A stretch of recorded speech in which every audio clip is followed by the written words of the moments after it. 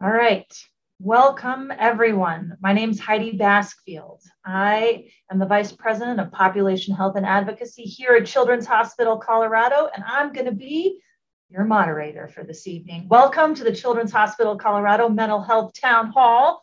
We're super excited to have everybody. We're going to give you some amazing tips on how to help your kids on everything from navigating complicated relationships with friends, preparing for what will obviously be an amazing summer, to thinking about how to prepare for next school year. So join us as we get this started. Before we dive in and have our amazing expert panelists introduce themselves, we're going to go through a few housekeeping items. So just a few logistics to get out of the way first.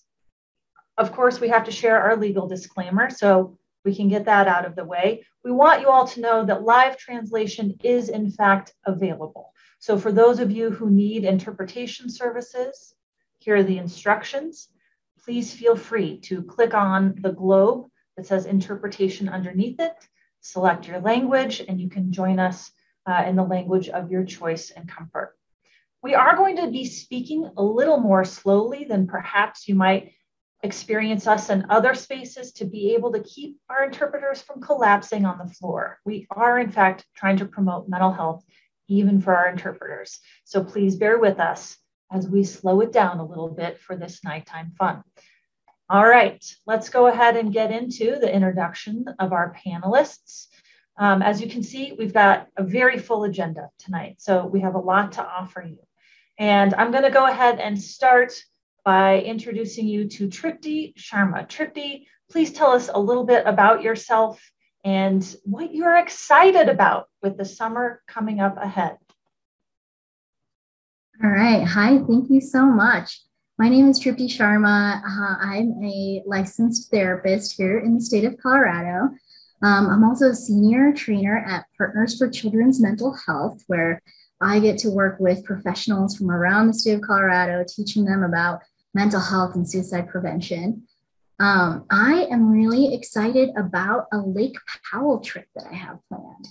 Very excited about that. Thanks, Tripti. That's fantastic. Let's hope it keeps raining so that if you're planning on spending that time on a houseboat, there's water out there for you. Um, Godspeed. Okay, uh, let's go next to my pal, Lauren Eckert. Lauren, talk to us. Tell us about yourself and what you're looking forward to this summer. Hey everyone, I am Lauren Eckert. I've been at Children's for just about five months now. Um, that's a really long and big title at the bottom of that screen. What it really means is that I am in charge of behavioral health programming down here in Colorado Springs. Um, we've got a lot of new exciting service lines we're going to be opening up this summer um, to work with our kids and our families down here. So that's one thing I'm really excited about. Personally, I'm really excited about, I don't want to say getting back to normal because we all know at this point that's not happening, but getting back to some some summer fun, spending some time outside, being able to travel without having to worry that it's going to get canceled at the last second, um, and spending time with family. Fantastic. Thanks, Lauren. All right. Because we don't have enough fun with one Lauren, we're going to bring on another one. Lauren Henry, please introduce yourself. We never get that joke ever, do we, Dr. Mm-hmm. Eckert? Not at all. Um, I'm Lauren Henry. I'm a child and adolescent psychologist here at Children's. Um, and I'm kind of in a unique role where I get to work more preventatively um, with some of our, our families through school and community consultation efforts. And then I get to see the other end of the spectrum, right? So I work within some of our higher levels of care, serving kids that are actively in a mental health crisis. So I am so, so excited to be here to talk more preventative and, and how do we keep our kids out of those um, acute mental health crises.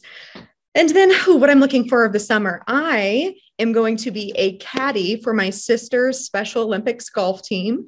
And I ha- don't golf. I know nothing about it. So I've been watching a lot of a lot of masters and some boring stuff, but I'm excited for that over the summer.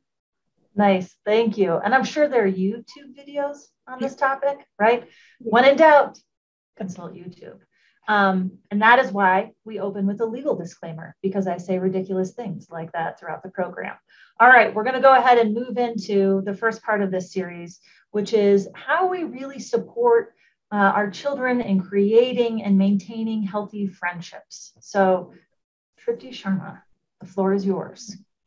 Thank you so much, Heidi. Um, I actually want to start with, you know, everyone, let's just go down a memory lane really quick and think about some of those formative relationships and friendships that you had when you were a child. And really consider what did you learn from them? How did those relationships add to who you are today? Right. And so just using that as the backdrop of um, talking about friendships and the importance of them. So research also tells us that having and keeping friendships is a positive factor for developmental outcomes, um, such as positive self attitude and being able to carry on and having positive functioning relationships in their futures. So, friendships contribute to um, youth cognitive development and their social development in these varying ways, right? So, we get to learn how to belong outside of family relationships. We learn how to get along with others and navigate conflict. We learn social skills. We have, um, you know, our friends really help us try out new things. Uh, and our friends can act as a buffer from different negative events that may happen in our lives. Uh, then, of course, the cognitive development. We learn through our friends, and that's called peer tutoring cooperative learning, collaboration, and modeling. Uh, how many of you all have, um, you know, tried to teach your child something and then all of a sudden they go, you know, to somebody's house or they go to a school and they come back and their best friend did it, so now they just do it automatically. It's so cool how they can learn. So um, there are some things though that you can do to foster your your children in making friends so um, what we recommend is, you know, really helping your child learn how to listen to other others' ideas, um, teaching them how to look out for another child's needs, emotions, and really being able to take on the perspectives uh, so that they can start understanding them. And you know, that's where we learn some forgiveness and um, and and empathy. So really important there want to discuss fairness with your children, um, you know, taking turns, how to share, how to solve problems, negotiating, compromising, all those skills. Um, and then, of course, being honest and a loyal friend and why that may be important. Uh, and then, of course, we want to help them learn words for expressing their feelings. So when they do get into some, um, you know, dicey waters, do they have the words? to, to say how are they feeling in those situations. Uh, and we want to teach them how to self-regulate, right? So some of those skills uh, that we can teach them uh, in coping with those negative emotions. I love using certain um, breathing apps and things like that. There's a Breathe to Relax, or for some younger ones, um, Sesame Street has the Breathe, Think, Do app um, where they get to pop bubbles and uh, really figure out how to handle situations. And of course, we want to make sure they know how to handle introductions, they know how to participate in conversations. So these are all the things that you know are basics to teaching uh, them what they can do. We're going to move over to um, things that uh, you can really do instead of just teaching them, right? So um, we want to model cooperation and kindness with other people, neighbors, shopkeepers, teachers. Uh, remember, they're always watching you. They're, they're watching you a lot. Um, invite their friends over. Um, invite your friends over. Show them to enjoy, you know that enjoyment with friends along with family are important endeavors to you. Uh, find time for your children to play with other children and select activities that really foster cooperation. Uh, and of course, engaging in social clubs or recreational groups, so important. We often find friends doing things that we like to do and that we're passionate about. And, and we want to praise their efforts. We want to stay positive. So, what are they doing? Picking out those behaviors, uh, those specific words that they're saying, and being able to reflect that back to them and saying, "You, I really saw your effort there. You did a great job in trying to make that introduction." And then overall, you know, youth are really resilient and being the types of creatures that we are, we inherently want to make connections. So uh, if, if there are some um, struggles, let's let's consider some of these ideas. Uh, first of all, being okay with variation. Kids are different. Uh, some don't need any support to make friends, and some may have uh, just a few friends, and some may struggle to make friends. If your child is really refusing to engage with peers, ask them why. Get to the root of the problem. You know, are they having difficulty with separation? Would they benefit from social skills coaching? Or are they okay with how things are? Do they enjoy, you know, quote unquote, sitting on the sidelines? That might be something that they're okay with.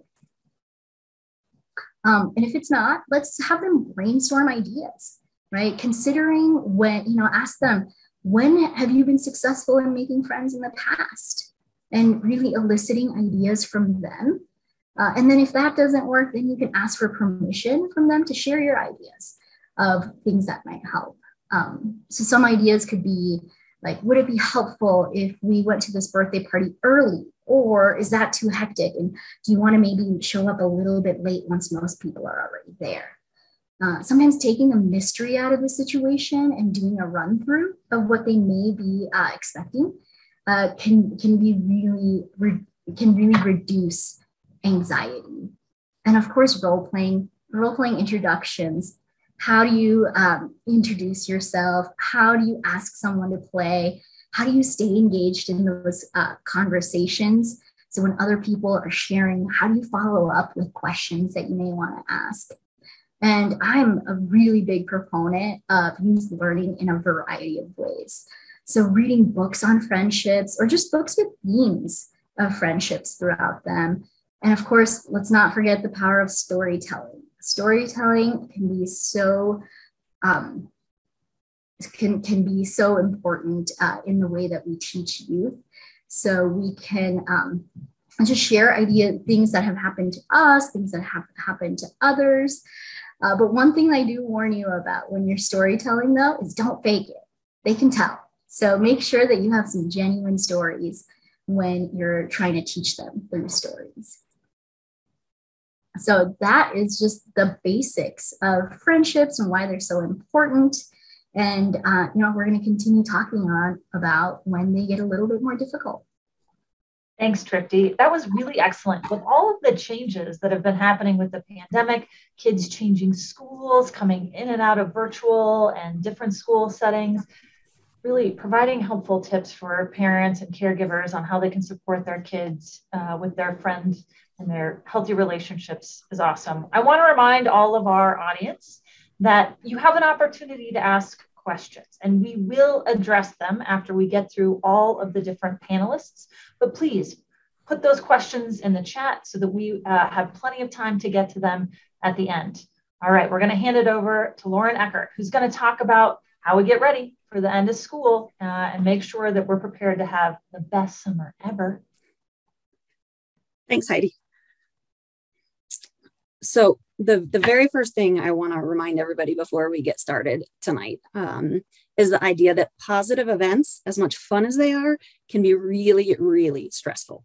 So if you think about some of the happiest things in all of our lives, you know, weddings, births of babies, new jobs, new houses, there's a tremendous amount of stress that goes along with that. And if we as adults feel that, we have to really think hard about what our kids are feeling. And if we have a hard time coping with positive events, what are our kids feeling?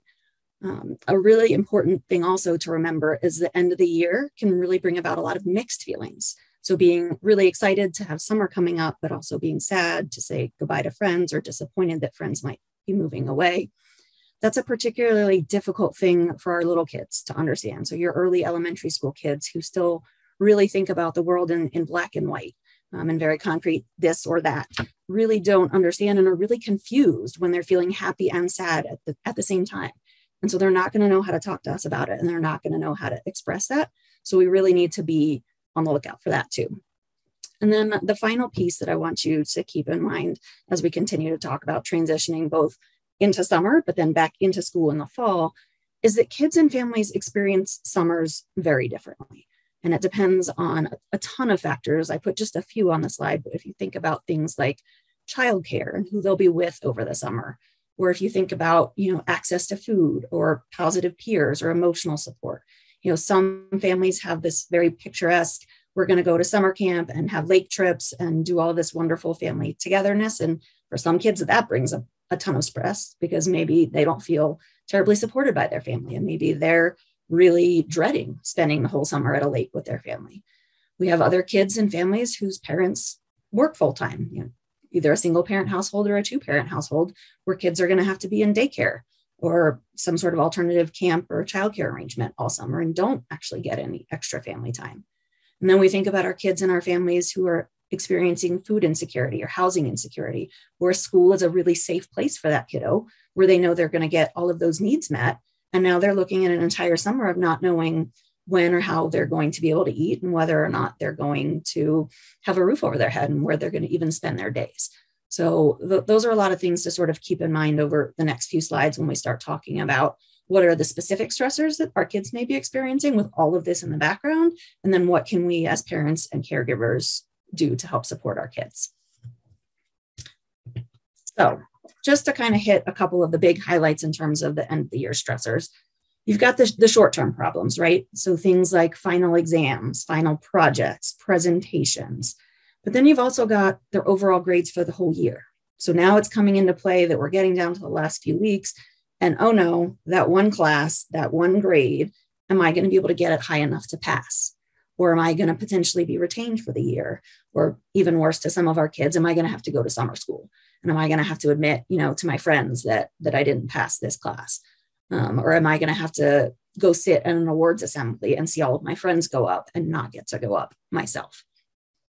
So that's sort of the academic piece. And then there's the social piece that Tripti already spoke to. We have, you spend an entire year developing relationships with kids in your class, with teachers, with school bus drivers, with coaches. Uh, our kids latch on to the positive adults in their environments and then have to leave them for a whole summer. And that can be really, really hard to understand. And then we also have kids who are going to be transitioning to completely new schools in the fall. Sometimes that's because they're going from elementary school to middle school or middle to school to high school, or maybe they're moving, or maybe they know a friend is moving. We experience a lot of that down here in Colorado Springs, where we have families that are involved with our military and our military service members, and they frequently have to transition during the summers. So kids are now dealing with the fact that their person who has been their best friend all year may not be back in the fall at all. And then we also have end of the year activities. So again, positive events are fun, right? But then you have concerts, these award assemblies, field days, field trips. All of those things throw kids off their routine and time of year when their routine is really the most important thing. So all of these activities, of course, are at night. So then you have your kids staying up later at night, but then they still need to get up in the morning to go to school to do those final projects and to take those final exams. So we're putting stress on an already stressed system. And then that's when we really start to see um, potential some concerns or some concerning behaviors. So some of the things to keep an eye out for and keeping in mind that our kids either may not be willing to talk about what they're thinking and feeling or may not be able. These might be our little kids that don't understand how to say, I'm happy and I'm sad, or I'm excited and I'm scared. Or they might be our older kids who were just not cool anymore, to be honest, and they don't want to tell us. So you've got to be on the lookout for changes in their behavior that's one of the biggest things that we talk to parents and caregivers and teachers and adults about is watch for significant changes in your kids behaviors if you have a kid who's usually super outgoing super excited very easy to talk to people and all of a sudden they're shy that's generally speaking a sign that something's going on something's worrying them something's upsetting them something's making them sad um, so looking for changes is the biggest piece of advice that i can give some other things that you might see increased physical complaints. We've all heard this one before. I can't go to school. I have a headache. I have a tummy ache. My pinky right toe hurts. Um, all of the things that, that they can come up with. You might see some changes in their sleep patterns. You might see some short temperedness or some irritability. Again, stress on stress. How do we all feel at this time of year? I'm living this one right with all of you. I have a nine year old and I have an almost six year old who are finishing third grade in kindergarten. So this is this is my life right now too. Um, they're a little short tempered. We're a little short tempered. So then everybody gets long tempered. Um, everyone's a little bit drained. So you start to see these behavioral concerns come up, issues that you haven't maybe seen in a while, issues that you haven't heard about in a while. You've got your younger kids fighting with each other again. You've got your teenagers stomping around and using some not such choice words um, some more distancing from you. Um, we can see kind of two different options around schoolwork. You can see more of that procrastination, like, nope, not doing it, not doing it, not doing it until right before it's due. Or you see the kids who just give up entirely and just sort of kind of say, forget it, I'm not going to pass anyway. There's no point. I'm too far behind. I just give up. And they refuse um, to do anything at all. Next slide, please. So, what can we do? How do we help our kids in this situation? And how do we, in turn, you know, help ourselves? Because if our kids are stressed, we're going to be stressed. So, the goal is to reduce their stress, reduce our stress, and to have everybody have a, have a better experience. So, the first key thing to think about is predictability. Kids thrive when their environments are structured and predictable, when they know what's coming, when it's coming, how it's coming, and what they're going to be expected to do. And like we talked about, the end of the year gets really unpredictable because you have all of these events you don't usually have. You're going different places after school and other places on the weekend, and maybe you're even traveling. So, how do we help kids to understand that? How do we help them to know what's coming?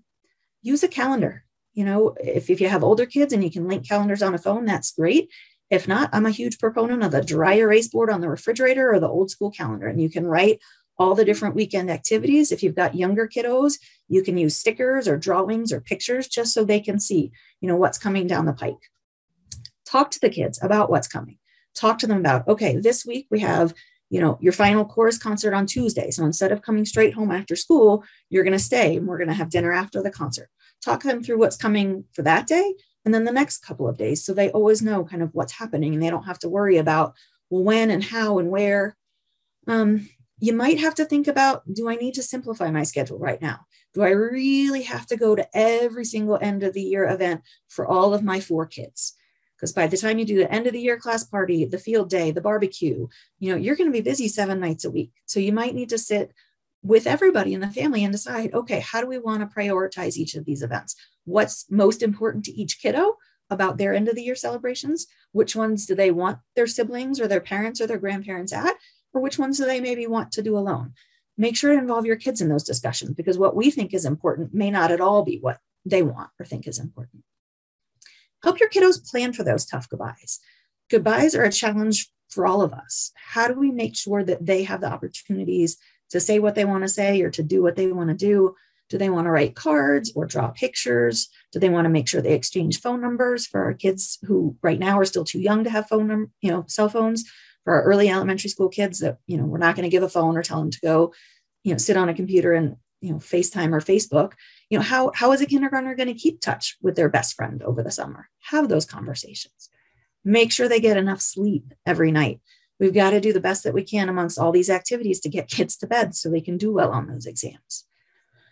One of the biggest things check in with your kids regularly daily if even. This doesn't have to be a long 45 minute conversation. Um, some of our favorites to talk to parents about are ask for your kids' highs and lows for the day, ask for something that was hard and easy, ask for something that was good and bad, and then keep hammering at it. Your kids aren't going to give you an answer every day. Your teens are going to roll their eyes at you the first 15 times you do it. But if you keep doing it and you keep doing it, eventually they're going to say something because they know that you're not giving up and they know that you're there and you're creating a safe space for them to express themselves. The second part of that is when they do express themselves, you have to listen. Tripti talked at the beginning about the importance of friendships and listening. We as parents are horrible listeners because we want to fix it. Our kids are sad, our kids are scared, our kids are happy, and we want to fix it. We want to make it better for them right away. We don't want them to feel uncomfortable. I don't know about you all, but when I get in situations where I'm emotional, I don't want anybody to fix it right away. I want someone to be there and to be able to say, You're right. That's really hard. I'm sorry. Not, well, you could do this and you could do this and you could do this, and then it will be all better and it won't be a problem. I don't want to hear that. I want someone to sit with me and say, I can see why that would be really hard. How can I help you figure that out? So, really acknowledging their feelings, sitting there with them with those feelings, validating them. I understand why you feel that way. I could see how that could make you feel like that. I would be sad too if I heard my best friend was leaving. Don't just tell them, oh, it'll be all right. You'll make a new friend next year. You know, our kindergartners don't understand that, and our high schoolers don't want to hear it. We've got to sit with them, and you've got to resist the urge to fix it until they're ready. So, kind of what Tripti talked about earlier. You know, what would you think about, or would it help if having those conversations once you've let them have that safe emotional space to talk about how they feel. Then helping to teach and practice calming skills. Tripti already talked about deep breathing. That's certainly one of our favorites.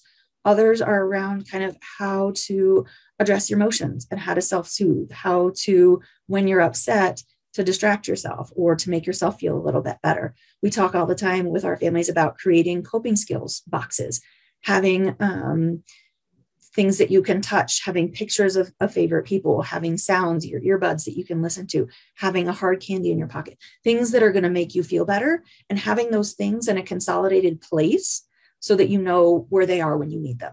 You can send a small Ziploc bag in a kid's backpack to school. This doesn't have to be a giant Tupperware container filled of their biggest stuffy ever. One or two small fidget toys, a picture of mom or dad, a picture of the best friend. Um, those work great. Lastly, and most importantly, practice what you preach. Make sure you take care of yourself. Get good sleep for yourself, eat well, get exercise, check in with your friends and your family members and the people that support you, and find a safe space to talk about what you're feeling and how you're coping with this end of the year. Last slide, please. So, what do you do over the summer? Because these concerns don't just go away the day that school is over. Keep checking in. Understand that their thoughts and their feelings are going to change over time you know, Dr. Henry will get this, to this in a minute, but once we get so closer to getting back to school, they're going to start worrying about again about all of those things that were happening at the end of the year. So be ready for those to change. Continue to hear them, continue to acknowledge, continue to validate, continue to sit with them, and when they're ready, help them problem solve do as much as you can to keep the home schedule and routines as similar as possible. Keep trying to get good sleep. I know it's tempting to let people stay up super late at night because they may not have to get up as early in the morning, but that we all know that's not going to end well for somebody most days. Encourage them to connect with their school friends. This is especially important again for those littles who we can't, you know, hand a cell phone or a tablet or a computer. You might have to call and set up some play dates, and you might even have to encourage some of your older kids, you know, our, our kids are really in this digital world now. How do we encourage them to get face to face with their friends? How do we push them away from those computers and phones and, and get them outside and get them physically with their friends? Find time to make moments special and meaningful. We talked at the beginning about how summer is really different for everybody. It's not about quality, it's not about quantity. It's not about any of those things. It's about taking whatever moments that you have and that you have together and making them special and making them meaningful. It can be five minutes, it can be five weeks. Sit with your kids, put down your phones, make them put down their phones, and find something you can do. It can be hot dogs for 4th of July, you know, s'mores, walks at the park, whatever you all enjoy, but but figure out how to make time and make it special and then have fun.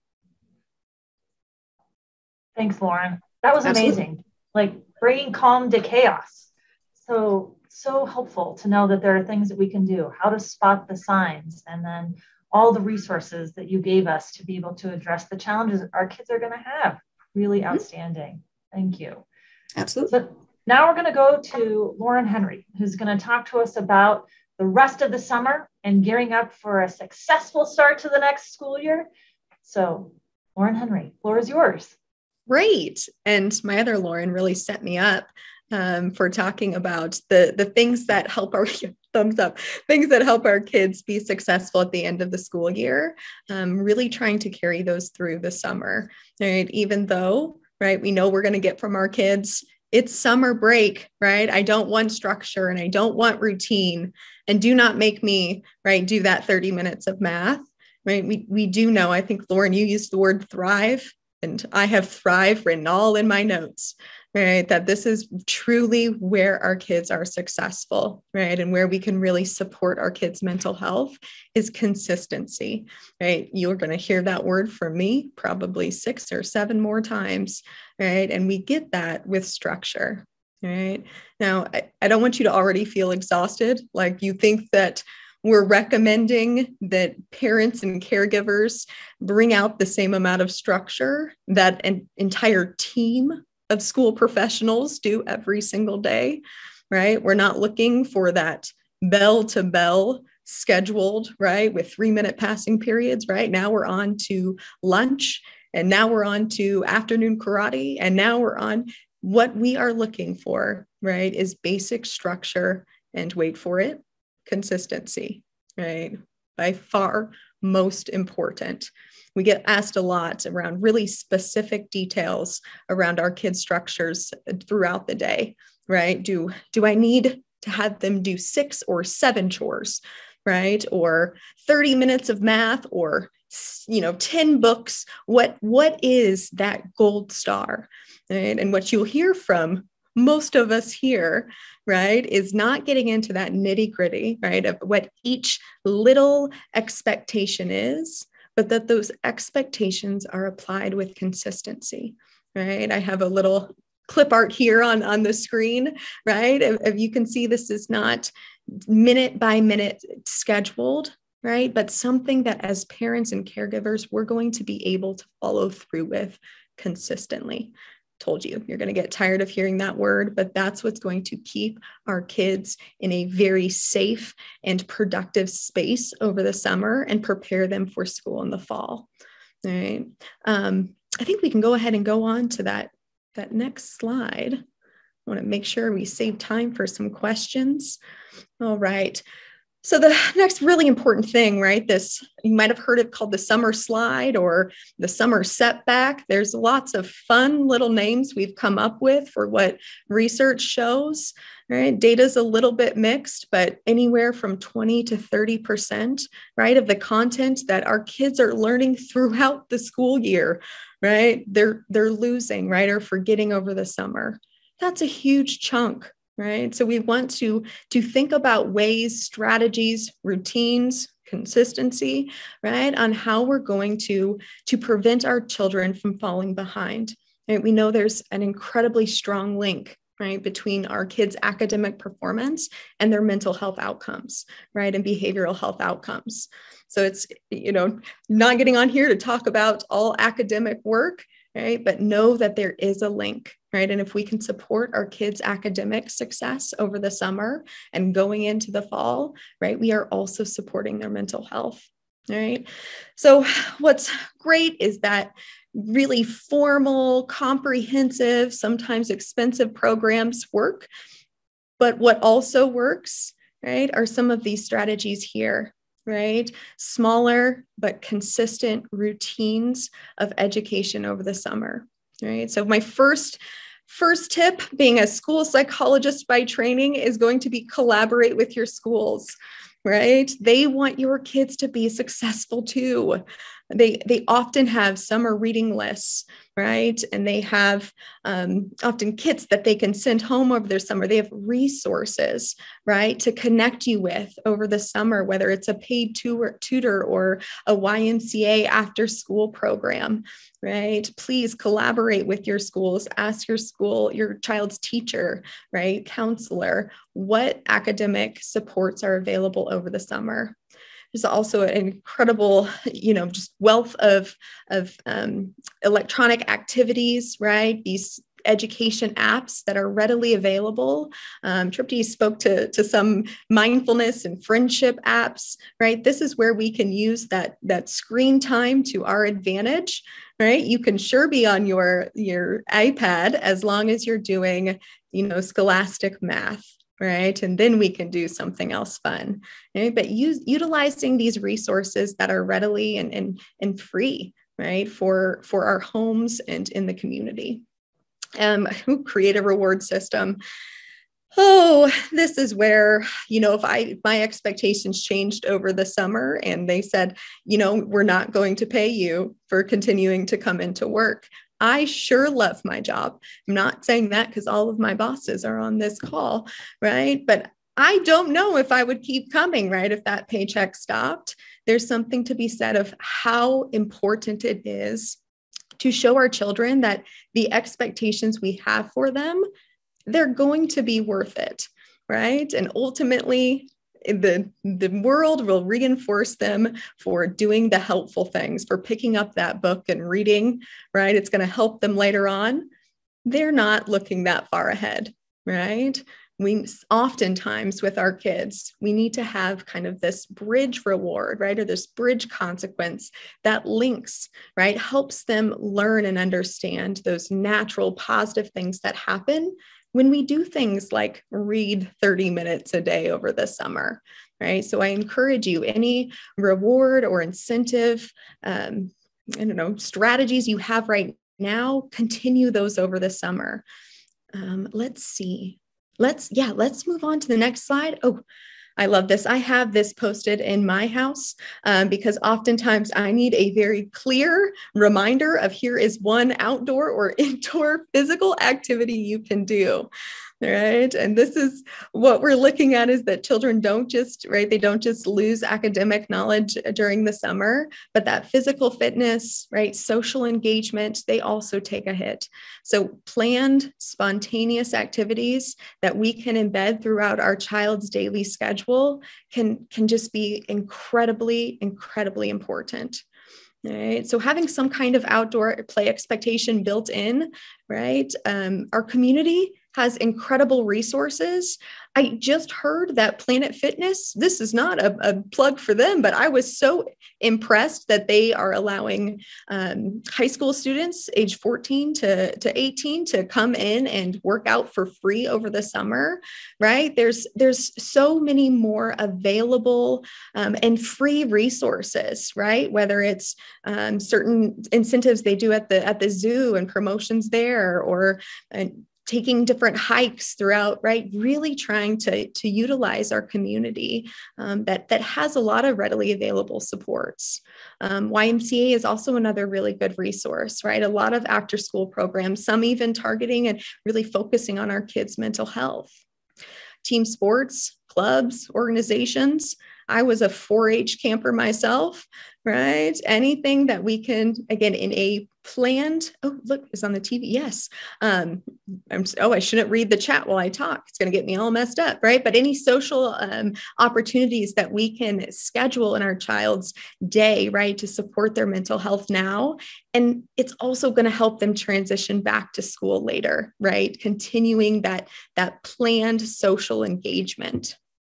Um, I also just want to encourage you to always look for financial aid opportunities, right? Most, I would say most, as I'm going through different camps that I'm trying to connect our families with um, after school programs or um, I'm seeing after school, just, just academic programs over the summer, many have scholarship and financial aid available, right? Look, ask, right? We have some here at the university that that have scholarship components to them. So certain please please ask about any way to support financially these these summer activities that can be um, a little bit more rigorous in, in nature. Okay last I'm, do, I'm doing great on time. Here we go summer screen time now. My lauren duo spoke a little bit about this. Um, and what I hope for you all is to limit our power struggles this summer. I want to, my very best, right, to go in with some expectation, right, with some consistency that can really support you all and not getting into this back and forth of how much screen time or does this phone call count as screen time or does my math game count as screen time?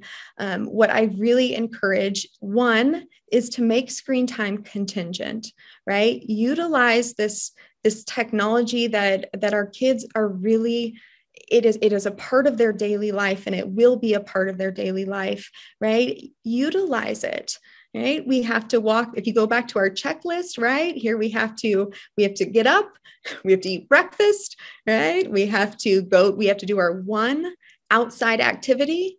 We have to read for 30 minutes and then you've got two hours of, of screen time right?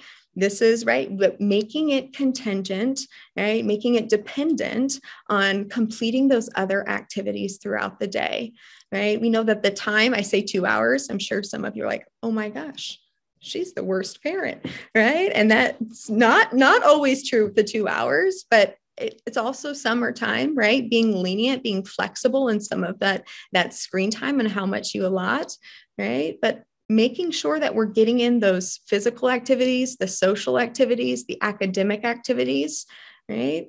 Structure your day in a way in a way where this really wanted and sought after screen time can support those initiatives. Um, and then, yep, expectations and consistency. I had to throw it in there one last time, right? So your child doesn't say, no, you said 30 minutes today, right? That we make it very clear of how long they have.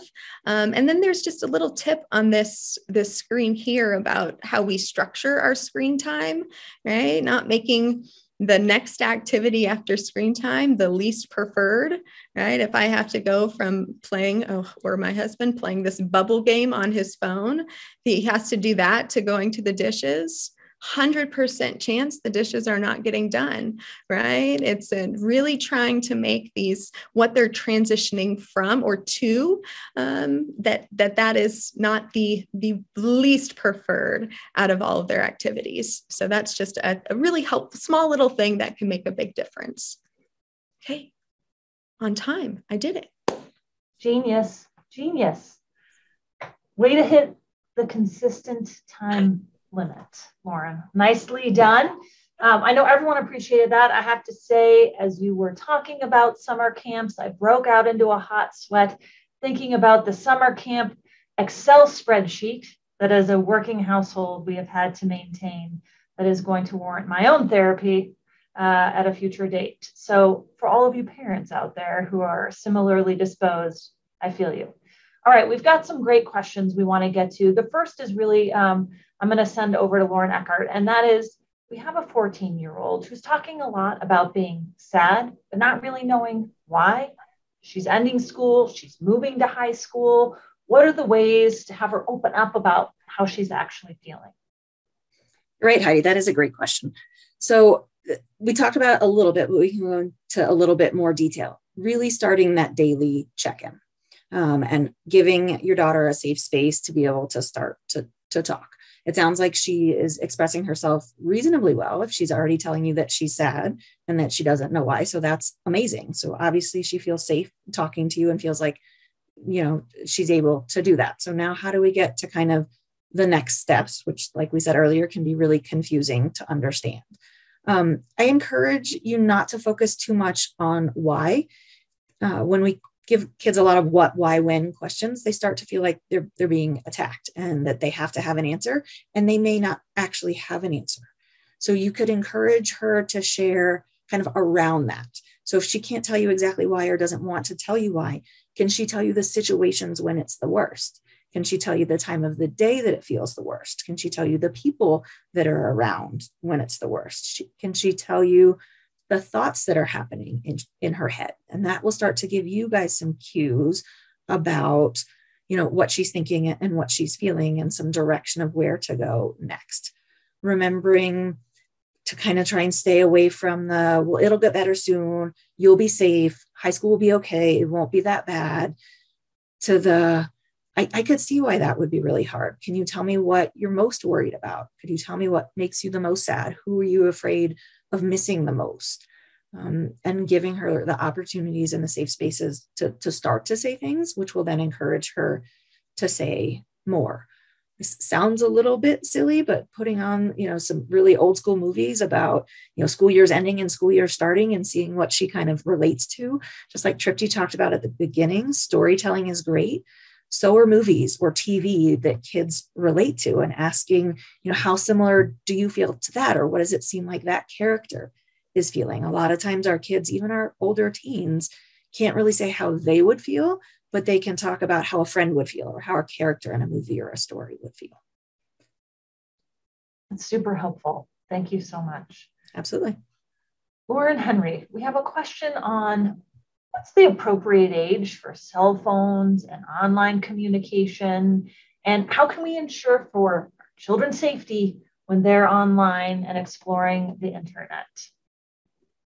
Absolutely. It's such a good question. And I wish more than anything I could give you all an exact year where you say, nope, Children's Hospital, Dr. Henry says eight or nine or 10, and that is just not the answer we can give, right? What we are looking for to keep kids safe, right, using electronics are those clear expectations and rules, right, that are monitoring of their cell phones, of their, I saw the, the online game consoles. That's something personally I'm worried about, right? Is that that level that amount our intensity of supervision is going to that's going to fluctuate with age right? Earlier on we're going to have to have more privacy settings right? There's lots of those available for different carriers different consoles right of how you can safely monitor your kids online activity right? And then i will also go back to something my lauren pair right about this this open communication right? And how if if one of our children is they're going to be exposed to something unsafe what we want to ensure is that there is an open line of communication with us right? So really encouraging highlighting even rewarding right? When our kids come to us with unsafe things that they have experienced over not just technology but also technology. That would no, it's a roundabout answer, but lots more supervision earlier on, right? And then as we work to, to develop that independence later, we can start pulling back on some of those um, kind of the, some of those safeguards. But early on, right, under the age of 12, there should be lots and lots of monitoring of, of those online activities. I could hop in for a second on that one, Lauren. I got Please. the great rule of thumb um, that I heard re- actually fairly recently and then if you think about teaching kids to use the internet and all of these resources, like we think about teaching them to ride a bike or drive a car, kids now are, are digital citizens. They're going to be using all of these things forever. We're not going to be able to prevent it, just like we're not going to prevent them from driving a car and needing that.